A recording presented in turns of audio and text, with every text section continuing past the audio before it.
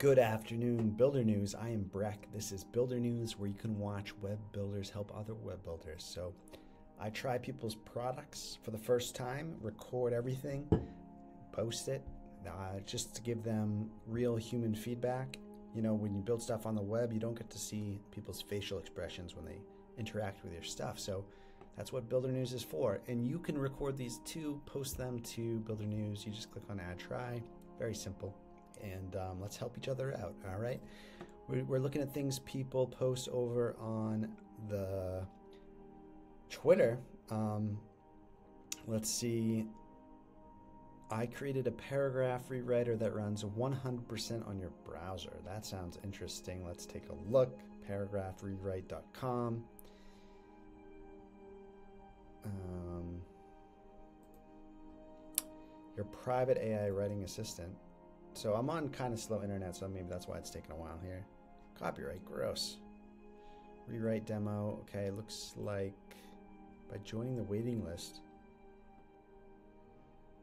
Chrome extension and standalone app. I thought it said stop trading your privacy for writing. Try demo for free.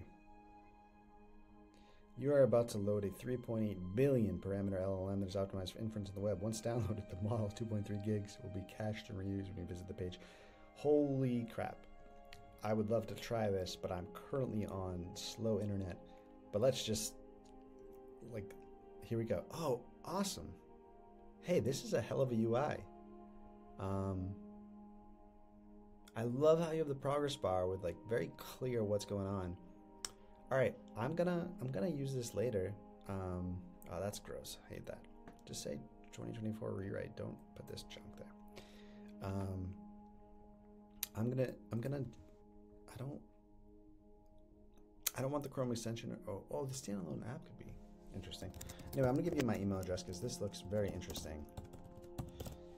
I'm gonna click join, and then I'm going to give you a follow on here. This looks real interesting, Mr. Mindtrick.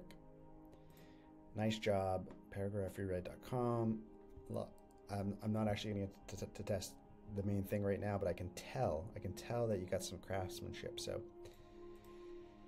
good stuff. Um, I look forward to trying it when I'm on faster internet. Cheers.